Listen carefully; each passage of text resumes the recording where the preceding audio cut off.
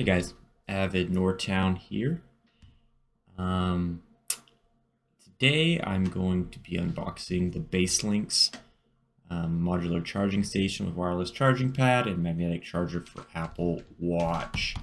So my previous wireless charger that I bought through apple.com has been not working very well through the iPhone silicon case. Um, tends to disconnect at least once like per night and then I have to put it back on and it's really annoying. It has a light that blinks, so I just decided it's time to say goodbye to that one.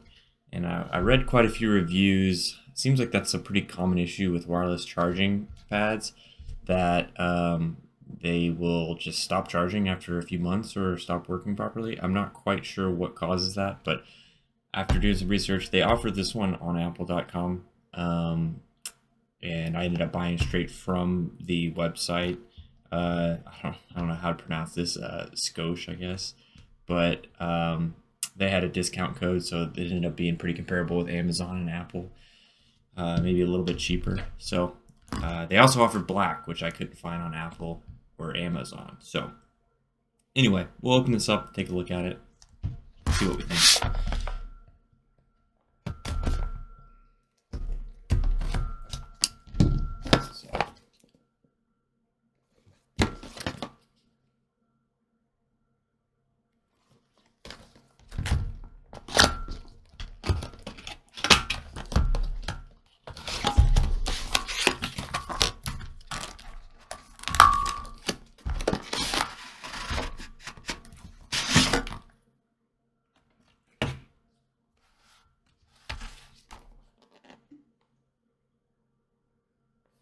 Pretty clean.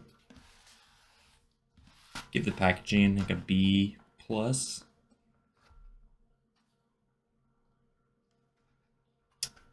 So on this side, looks like that's where your power is going. And they actually, it's cool, they have like a different modules you can buy and add to this. But one of that I, I know, saw that was pretty cool was you can get an end piece that swaps out here and has additional um, charging spots. So it has like a, a USB C and um, everything there. I thought I'd seen, I guess I was a little, this right here in the picture looked like it might be a USB-C port, but unfortunately it is not. It must be a light. So a little bummed there because it would have been nice to have that USB-C. I might have to buy this swap out in module that has that. So there it is. Looks pretty clean. Then um, standard charging, and I'm pretty sure that's gonna that'll do. That's all that's in there. So I'm gonna give this a shot, see how it compares to my previous one and uh, I'll let you know how it goes. Thanks for watching.